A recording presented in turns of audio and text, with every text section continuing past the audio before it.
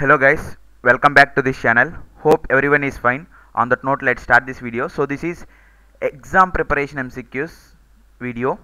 So for the course python for data science we have got the exam preparation mcqs these are past assignment mcqs with 5 to 6 years of nptel experience we have collected this. Here you are going to get a huge number of 295 plus mcqs 295 plus MCQs in a Google Drive PDF restricted link.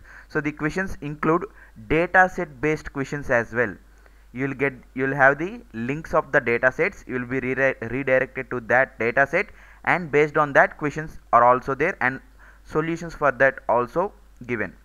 So it includes dataset based questions as well. So for one person it is 300 rupees guys.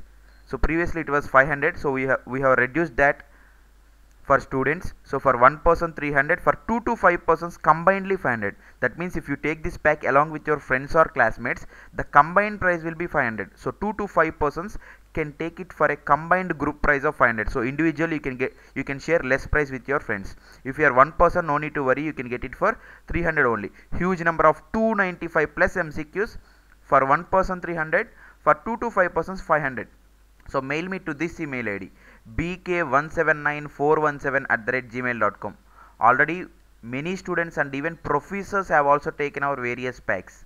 So mail me to this email id guys. I will give the same email id in the description box as well as in the comment section as well. So search option available. You can search any question you want.